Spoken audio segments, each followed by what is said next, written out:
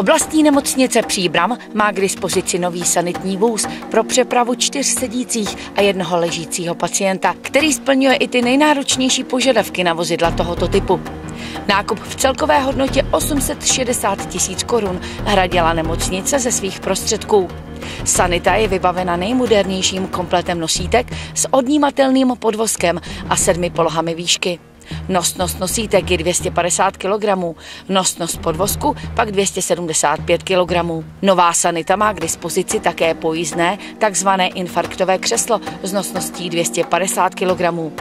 Pro srovnání uvádíme, že nosnost této techniky u ostatních sanitek nemocnice je 220 kg. Vybavení nového vozu doplňují také tři sedačky se samonavíjecími pásy. Nespornou výhodou je pak i větší a komfortnější prostor pro převážené pacienty.